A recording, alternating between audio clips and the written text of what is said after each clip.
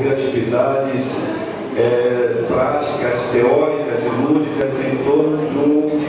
visando é, desenvolver ou promover, melhor dizendo, a educação em saúde para os nossos alunos do ensino fundamental, além de que conscientizar todos eles sobre práticas de riscos e dos perigos que são é, os trotes, e quando a gente trata de trote, a Polícia Rodoviária sabe disso, o nosso SAMU, que tem que incluir às vezes esses sacos aí do dia a dia, que é comum, a gente vai deixando é, essa cultura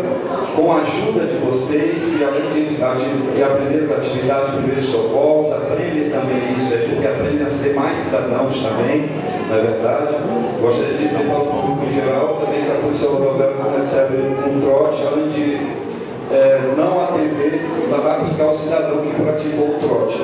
para conduzir para a delegacia por falsa, é, de, de falsidade de alarme. Pois bem, esse é um momento importante. Gostaria de finalizar minhas palavras dizendo da alegria de mais uma vez é, estar participando de eventos como esse, porque não é a primeira vez que mais quatro escolas são contempladas e finalizam com sucesso esse aprendizado e essa formatura está aqui representando aqui as escolas.